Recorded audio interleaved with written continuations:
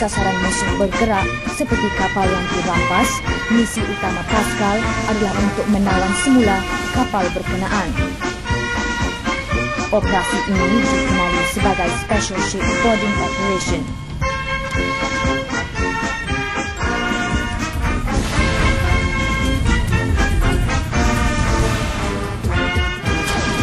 Unit tempur tujuh sekumpulan akan menyusup serta menyerah hendak melalui sisi dalam cubaan merampas kapal berkenaan.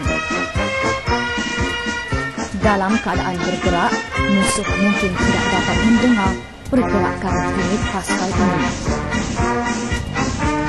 Oleh itu, penyusupan perlu dilakukan sepantas mungkin dan dengan penuh hati-hati.